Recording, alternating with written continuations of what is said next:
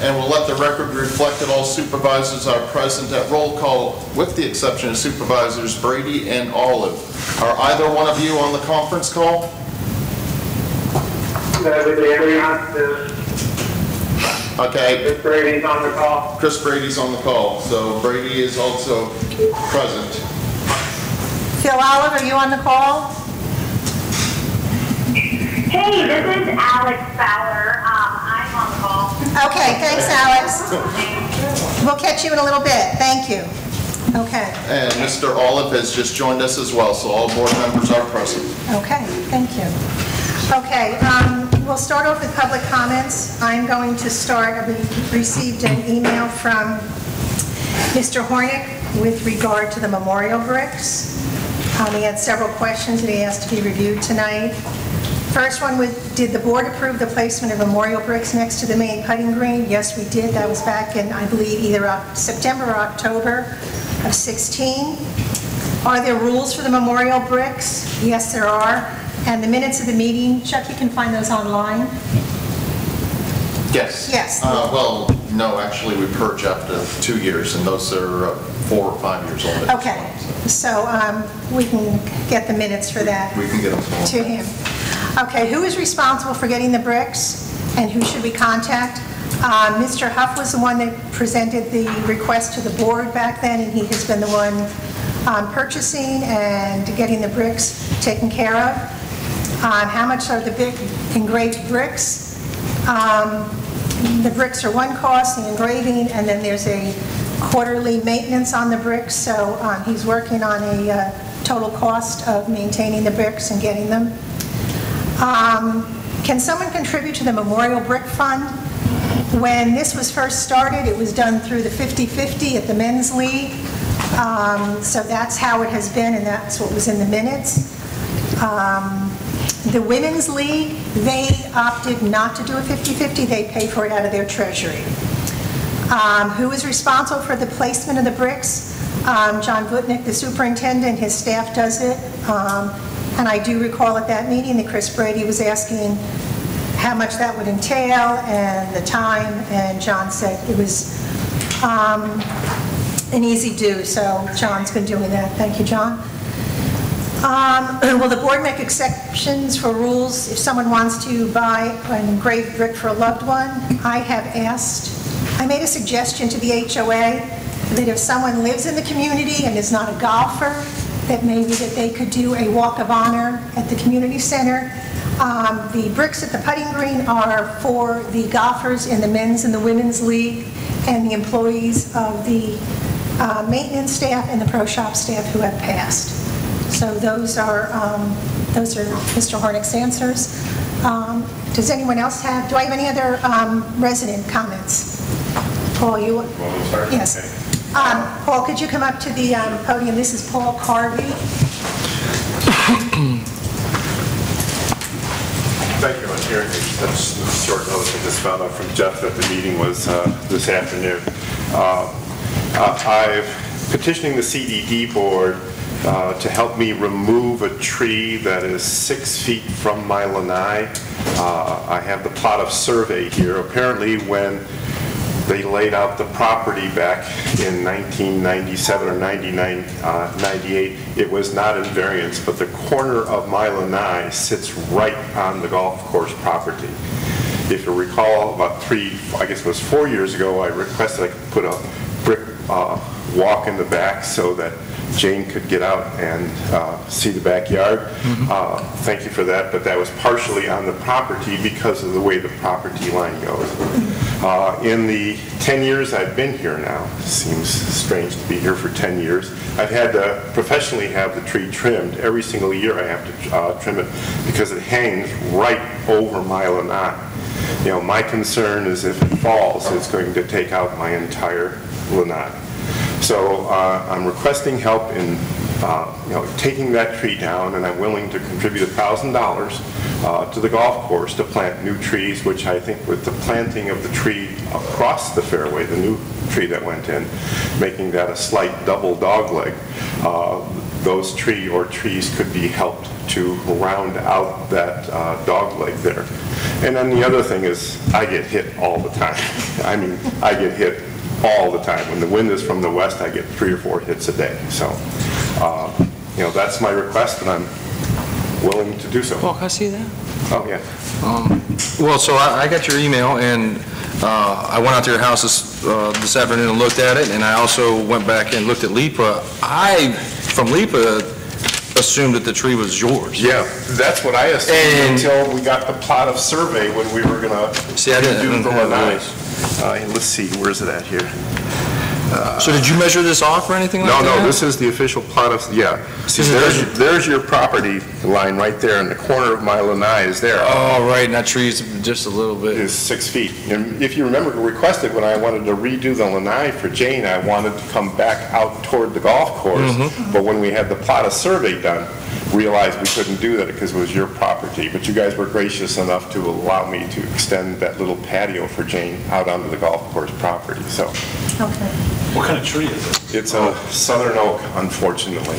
Beautiful tree. It is, but it is right over, it is Okay. all over. his- Yeah, and I've had it, I've had it professionally trimmed twice, and I have, you know, been trimming the branches to keep it off my lanai as much as I can. Okay, Paul, yes. Well, I, I told Paul that I made a suggestion that a a month or so ago, talking to John, I'd like to get some- and we hadn't really put it in writing or talked about it. Okay. You know what I mean? But, This you is know, neat. we all love Jane, and she would sit out there when the kids would would come by, and wave, and I, I I wanted to put a tree out there at the end of the path, more towards the golf course anyway. So to me, this makes sense, we cut that tree down, and we put another live oak or southern oak there, and just go from there, I, I- you know, in her honor.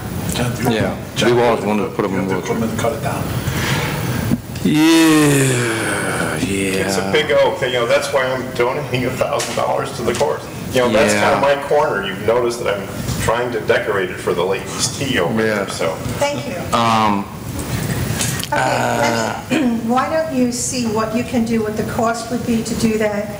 Get with Paul, um, let's work it out that way, and, um, I'll get something pretty quick for us. Okay. And we'll figure something out. Because um, there's a possibility that we might be asked to cut down some more trees, some palms on five. okay.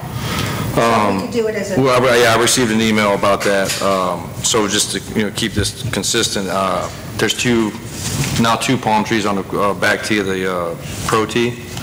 Um, And they're leaning heavily towards their house, and they sent me an email saying that a fawn uh, fell down and went through their cage, and they had to get it repaired. okay. So from an insurance standpoint, I mean, they- the trees are damaged or diseased, but they are leaning towards it, and, you know, it's right in that alleyway when you come across four to five, right there to the right. And if we have a storm, They're already leaning so far that way, they're going to go that way. There's no, they don't have a choice. I was surprised we survived Irma, but I think that was because that's, uh, that spring, I had that tree professionally trimmed. Okay. All right, so John, find out what you, you know, when you can do it and get with Paul. Sure. As far as planting something else. Yeah, and that- that, that's something I'd like to give it to you, with something as far as your wife's favorite tree or something, we could, you I I don't know, know what to plant, but she loved trees. okay. And, you know, and and she loved to watch the golfers. Favorite color, maybe something that could bloom with her favorite color or something like that, you know? You think about that. Thank you. Thank you, Very Paul. much. Um, John, when we cut these trees down, since they're on our property, do we have, if we cut the two palms and this down, do we have to plant? We don't have to? No. replant three trees? No. Okay. That's, um, and that's also on the lake banks, Okay. more than the actual golf course, Okay, yeah. all right. Are there any other, um, yes, come up and state your name, please. Okay. My name is uh, Paul McFarland, uh, resident on uh, Bellhaven. Um, I haven't really been in touch in terms of, because of Zoom and all of this this last year. But uh, a- a first question for the board is, what is the status of the bond payments from the CDD? Okay, the um, homeowner's portion of the bond will be paid off in '23. The golf course portion of the bond will be paid off in '28. Say that again. The homeowner's portion will be paid off in 2023. The golf course portion will be paid off in 2028. All right. Actually 27, because we have 27, because we have a year We have one year reserve. reserve. All right. And is the, is the plan at that point in time then for the taxes to expire? Well, that, the $325 that's put on the tax bill was for that. Right. And the judge approved that. Right. Is our intention to, to keep that on there? No. Okay. Okay? Thank you. You're welcome. Anyone else? Okay. Um, John? Yes. Um, All right, back to another tree situation. Uh, Mr. Dennis St. John lives on 2150 Sheridan, uh, right there on the corner when you come into the left. There's a small berm beside his house, and there's a um, a tree on there, I believe it's a shady lady, he'd like to have cut down. Um, It's not encroaching the home, anything like that, he just doesn't like it, and it's kind of interfering with the palm trees. He'd asked Matt to cut it down years back, but Matt said no due to money issues. And I kind of told him the same thing, I said, you know, we're under a maybe a, you know, redesign for the whole community. I don't think we're just going to arbitrarily just pick stuff out that, you know, so. Um, I thought they would be here. They said they wanted. We will consider it when we do the landscape review. Right. So remind us to do that, but that's- I'm not going to start, because if we do for one corner, we're going to be doing it all along, and and I want to do it all as one. Yeah, absolutely. Okay. Um, So we're going to be closed here, uh, March 15th. Um, We got a, put out an insecticide, Fipronil app. We're also doing a pre-emergent, along with Jim Hill is going to come back and finish flushing out the greens. Um, We have basically two greens left, or three greens left to find the flush outs on. Um, We had a great day today. Today was our best day we've had doing this whole process as far as locating them. Uh, Number 15 and 16, was just one on 15, three left on 16, and two on the putting green. The two on the putting green, Jim's going to have to bring some radar in and try to find and locate because the- it's been changed back and forth so many times, it's really hard to gauge. It's such a big area uh, to try to figure out uh, where they could be at. But we've looked uh, to no avail.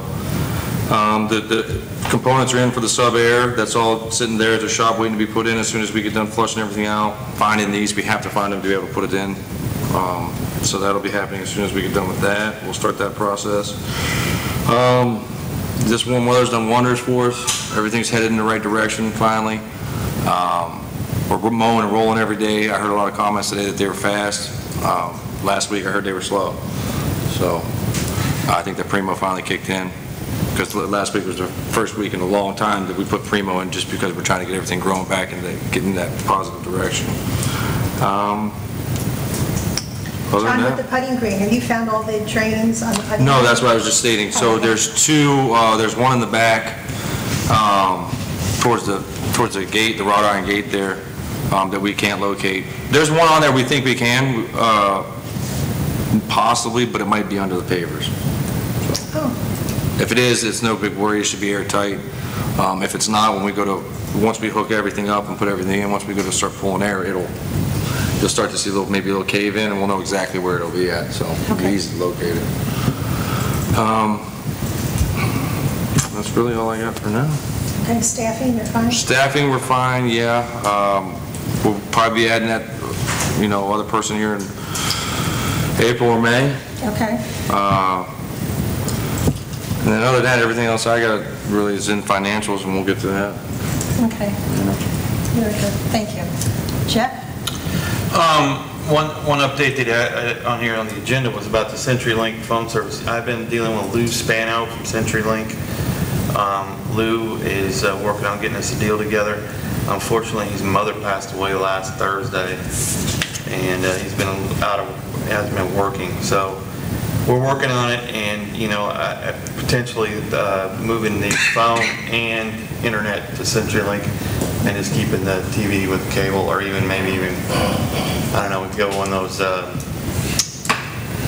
Dishes? yeah, you know those little deals just up on the back of the TV, and you get a couple channels, I mean, what what do we need a bunch of TV in there for anyway? Right, they should be working. Yeah, right. Um, it You know, we've had a really good month in January. We've- We're we're plodding along here in February, pretty much on plan. I I think I mentioned to a couple of you guys, we might come up a little bit short in February because I think we budgeted off 29 days, last year being a leap year. Okay. So we might come up a little, but I don't know. I I think we might get really, really close. Uh, Beverage concession sales have been uh, amazing the last, uh, last couple weeks. We a group, group in from Kentucky on Saturday that spent $1,400 basically uh, between sandwiches and beer, and they were, you know, Well, I will say that the staff you have there now are real hustlers. Yeah, they're hard workers. And and surprisingly, they're, they're young. I mean, they're 19, 20 years old, kind of gives you hope for the future of America, you know? They're hard workers and they do a good job. Um, But, uh, yeah, we- we've, uh, we've we've definitely had an uptick from that. I mean, some of it's because obviously Duffy's being closed. Right. Um, Duffy's uh, hopes to reopen, uh, John, we were talking about 4/20, uh, so April 20th. April 20th. Yeah, that's what we're hearing. Yes, pretty much. Yeah. And I know that uh, when we met with Andrew DeSalvo, and we'll talk about that a little bit later in the, in the remediation stuff, but uh, he was expecting them to be open next week. Yeah, So they're talking, you're talking 13 months with no income. Right, and and we're, we're getting hit on that a little bit in our uh, reviews. Yeah. Amenities poor, some, I can see that sometimes in our review, and, you know, that's just purely, they don't, people go and they want to go have a burger after golf, and they can't have one. Yeah. Um, The Chicago guys were here, as most of you know. The group did great. Certain people at the table made a little bit of extra money that weekend. You're welcome. Thank you. Um, They, they did donate $2,000 towards the tent. So we got $2,000 that they donated to junior golf, which junior golf donated to the club. If you look at the miscellaneous line on, on the spreadsheet I gave you, you see the $2,465, 2,000 of it is from the tent. Also donated the um, audio system. They all donated an audio system, which is terrific and worked really well. Um, It's a good event, they're great guys, we enjoyed having them. And uh, everybody worked really hard that weekend.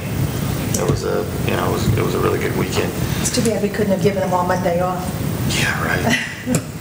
Um, We've struggled a little bit uh, in the past, uh, probably four or five weeks with the fact with Ben leaving. It hasn't been, you know, Tyler's a great kid, Uh, Tyler, our new intern, and he's a terrific kid, but he's a little green to the golf business. And uh, we're trying to get him up to speed. Kyle's done a terrific job, and Bobby, of course, as always, has done Bobby. And he's been really good, so it's been a little bit of a struggle at times. Um, left the door open Sunday. You know, just little things like that that are just, you know, just getting used to it. We had to be coached up, but, uh, yeah, other than that, staff's great. I get tons of compliments about the cart guys and, and the starters and rangers, and I, I like, I see Lloyd in the audience, and I thank those guys for doing a good job, keeping things moving. We get good comments on pace of play for the most part. Uh, We had an event a couple Wednesdays ago that pushed us into a a pretty bad pace of play deal, and we got a couple of reviews on that that weren't great, but uh, that was been the only time this season that we've gone over four hours and 15 minutes in a round. So crossovers work really good, and uh, we're we're uh, fortunate to be on that, going that way with that. Other than that, I don't have a lot. February's going to go good. I have no reason to think March and April aren't going to be even just as good, and, uh, you know, Please mute your phone. Thank you. And as far as the bricks are concerned, I would like to say something on a personal note. The Ladies Association was That, nice. that, that's not, uh, that's not me. Okay, Oh, I, I do hear some, I hear some background sound. okay, Not me either. okay. Who's ever got on your phone, on your phone, please put it on mute. Thank you. Go ahead, Jeff. Um, a few years back when my mom passed in 2019, the, the uh, Ladies Association was nice enough to make her an honorary member and we're able to put a brick out there for her. And It's always nice for me when I walk out to play golf to go give it a little tap and see it, so. And those bricks are important. I think they, they, they give the club history and they, and they remember the folks that are going to be missed, like, like Al. Al Smith will be missed. And, uh, he's a very opinionated guy and a good guy, and I enjoyed his company. He was the first golf lesson I ever gave here, so we'll definitely miss him. So that's all I have. Thank you. Um, Uh, I'm sorry, this is Chris. Jeff, were you just talking about bricks? It's kind of hard to hear. Yeah, he was talking about um, the bricks and that the the Ladies League had made his mom a- an honorary member so that she could have her brick there and that it's, it's a real history for the club and that Al Smith will be truly missed and he was a great golfer. I, uh, I just wanted to say, because I know earlier, I I couldn't speak, but, uh, you know, I thought when we started that whole thing, we were pretty much going to open it up to anybody, any resident that wanted to put a name could. Maybe I'm misremembering, but I don't think so. Now, we said that that was strictly for the golfers, and we had suggested that the HOA do something at the community center. And I'll bring it up with um, Bill and Tammy again to see if they can do that, but that was strictly for the golfers.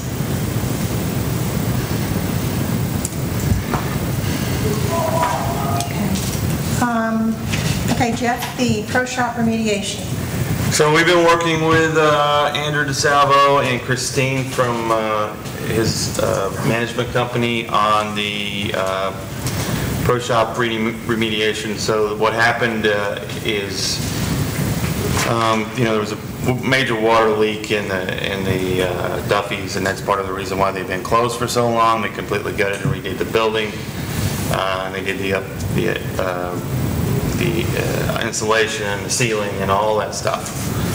So in the process of going through that, they, they looked at our ceiling and found some small spots where there'd been some water damage over the years, and they want to replace that to, to, to a bill of $50,000. And myself and Mike Brino have been working on that with Eileen as well, and, you know, $50,000, I just have $50,000 laying around, uh, unbudgeted, to repair uh, somebody else's building, honestly. So anyway, um, we're working towards that. I know that the, the insurance inspector was in.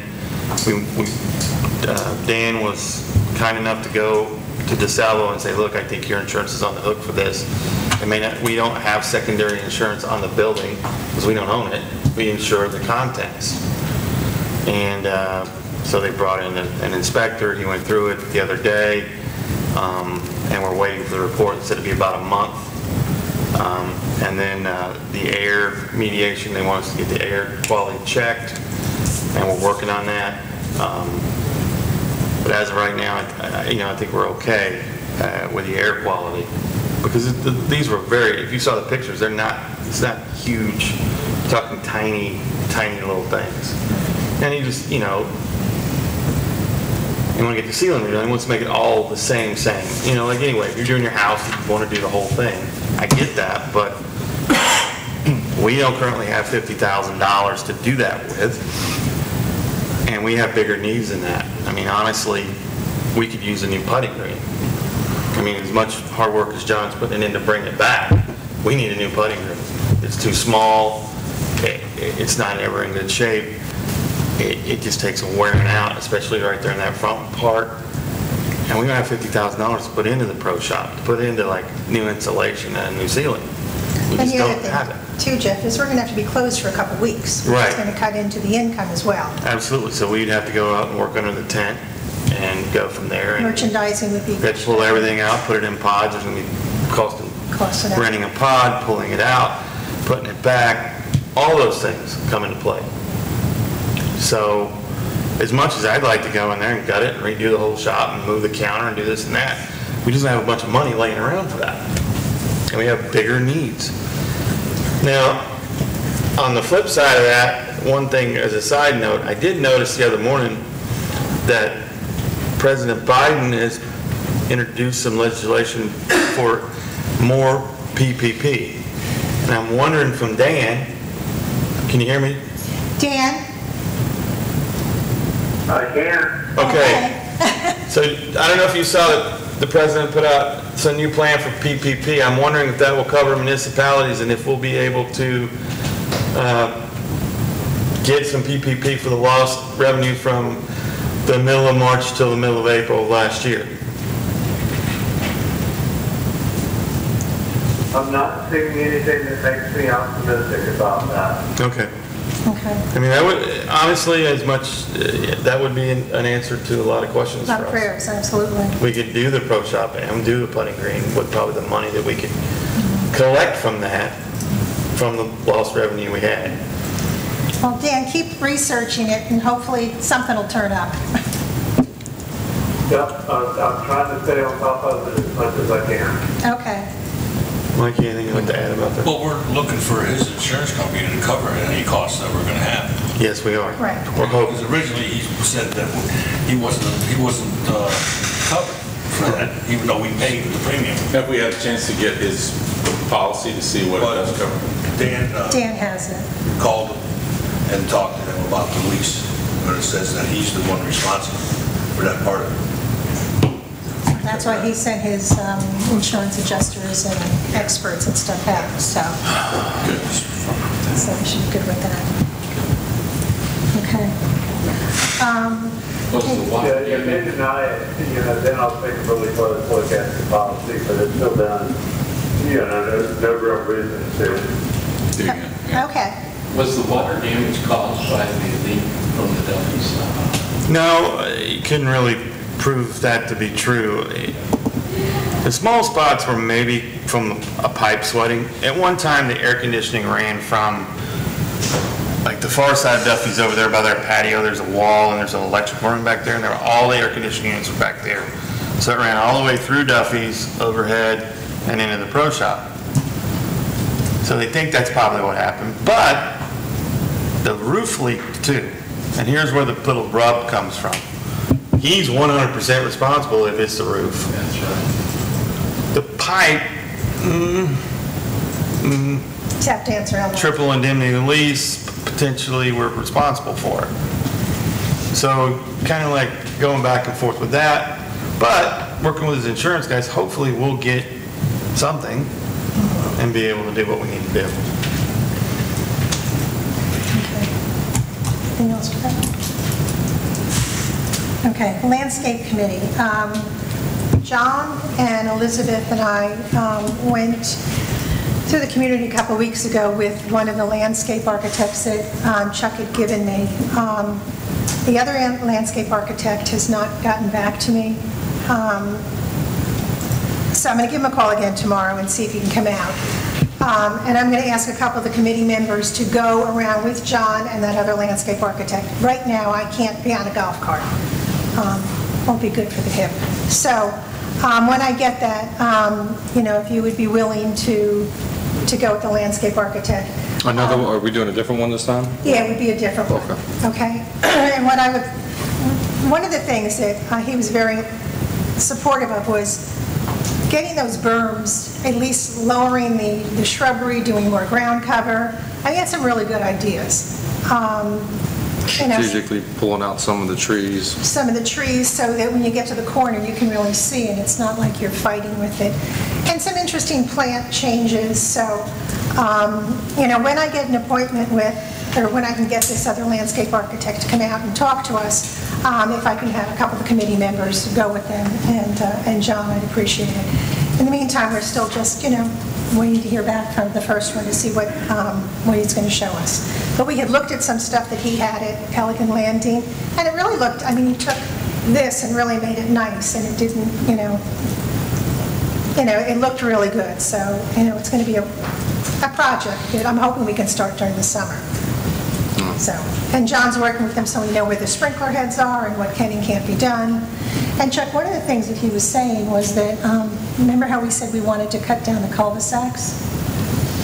Uh, He was saying that there may be pipes and drainage and all under that, which could cause a lot more issues. At the surface, you may have a manhole, stormwater manhole, or a wastewater manhole that you have to work around, but generally, your, your utility pipe work is gonna be well below the surface, and we're talking about surface improvements, so. Okay, He he seemed to be more worried about the DOT aspect of it. Like, you know, well, oh, well, if you take this and make it smaller, then what you, you know, you, you bring in, this all has to be DOT approved and packed in, and I'm just thinking, well, it's minimal, I mean, so what? I mean, that's, If you're making the lanes wider, you're in a It- good it- position. If you're narrowing them, then you might have Right. to deal with, but, yeah. right. And just having that experience doing that kind of work before, I didn't see it, I was like, that's not really doing anything as far as cars and, you know, weight bearing and load bearing and, That, that's in LA, that's uh, getting out of his lane and getting into engineering, so well, Okay. I wouldn't worry too much about that one. Okay. Let's do the pretty Yeah, I'd still leave that pictures. option on the Do table. pretty pictures, and we'll talk to the engineer about, you know, are we able to engineer it or vice versa, we can do it either way, but. Okay, perfect. Okay, so I will be in touch with the landscape committee with regard to that. Um, The next thing um, is the review of um, potential attorneys. We had the one that you had given us last month, Chuck. Uh, The, the other one uh, ultimately decided he wasn't interested. so Okay. Getting really busy right now with all the new development and stuff, so. Yeah. Well, what I I was going to ask you, if you and/or Dan could um, give me a list of, and I thought I had it, but I don't, um, the charges that Dan does for different things, and um, just to compare it. Right now, we don't have the money to, I mean, this attorney seemed way more pricey. Uh, Yeah, I mean, Tony, Tony's been doing this forever and a day, um, so, and his, his, uh, his specialty is municipal government kind of law. Dan's right there with him, so, um, Okay, now, does he work for any of your other communities? he, he works for a handful of mine, I've worked for him, you know, worked him for darn near 30 years, my Okay. entire career, so. Okay. As, as well as with Dan, so. Okay. It's a, it's a rather small group that specializes in CDDs and and the government law aspects, where in the private sector, there are dime a dozen. so. Yeah. Okay. Yeah, If you could just get that information to me. and- Sure, not, not a problem, I can pull that up and get that out uh, to everybody. Okay, so we can look at that and- You have the and compare financial it. comparison as well, sure. Okay. Yeah, let me remind you all that, uh, you know, a lot of the immediate legal fees that hit your bu- uh, balance sheet was because I deferred all golf course payments since August. Oh, right, no, I, I understand that, Dan. So, because you were gracious enough to do that, and I appreciate that, so that, that's not, um, that's not an issue. Thank you. So I just wish you lived a little closer. So, does anybody else have anything with you? And pretty soon, I'm going to be able to get back the vaccine, and I look forward to seeing you all again. That'll be great, I've already had both my shots, so I'm good to go. Yep, I'm waiting. Okay. If they can tell me there, I can be there, I'll be there yesterday. Okay, thank you. First thing you do, though, before you leave Carrabelle, is you get a haircut, Dan. Yeah, please. Oh, yeah, I gotta get a haircut. He looks like Jerry Garcia right now. Okay. Um, The other thing that Crosby and Jeff and John and I, does anybody have anything else about the attorneys at this point? Okay. The other thing that Crosby and um, John and Jeff and I were working on is um, looking at a new payroll company. And we have Diana from ADP here with us today um, that we can ask questions of. And the- one of the reasons is that we're looking to um, save money. Um, And the second reason is that back in December, we had a real issue with TriNet where they shut payroll down on a Thursday, which Crosby normally sends it to them on Monday. The staff was supposed to get paid on Thursday and never got paid till the following Tuesday because they never bothered to tell us that they were changing. Crosby had a team, and since COVID, she's been calling and getting not the support that we need for the money we're paying. Um, And then, what was it, two weeks ago? Because of the storms, the payrolls come out of Memphis, and um, again, the staff was delayed in getting their pay. Um, I can't afford for these guys, for the most part, to have to wait because they get paid, they they work week to week.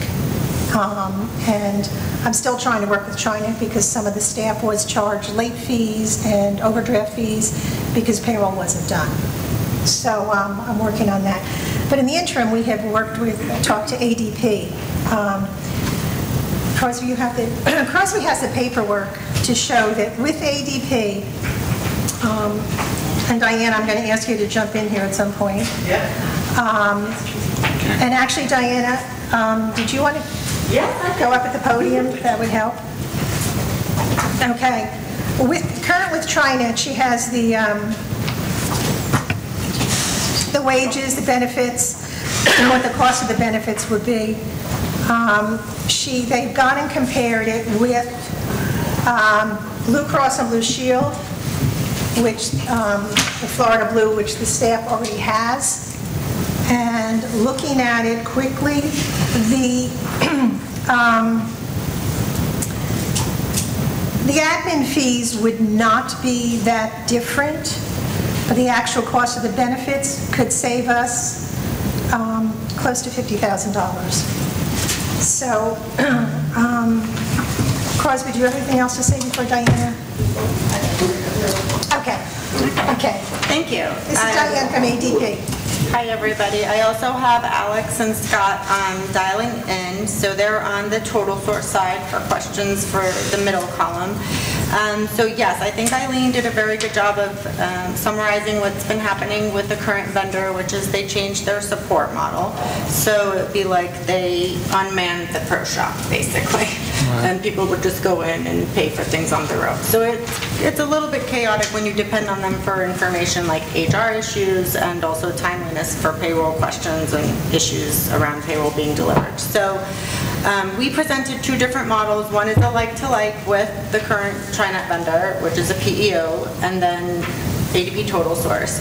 And we also shopped open market under the ADP Comp Services model. So both of these solutions have a dedicated team for Crosby and John, Jeff, Eileen to reach out to, and we have never changed that in the entire existence of these two models because that's why you pay for a solution to support you when you don't have in-house HR, in-house payroll specialists, right? So, um, we, we presented options with United and Aetna on Total Source, and we also presented Blue Cross Blue Shield, which is what the employees have today on the open market. Um, There were some initial savings on the comp services column, there are some savings on the admin, and there's also some savings in the workers' comp with a potential dividend program. I'm not licensed to speak to the workers' comp, but we can have more conversations. It can be up to 9% of the premium if you guys stay safe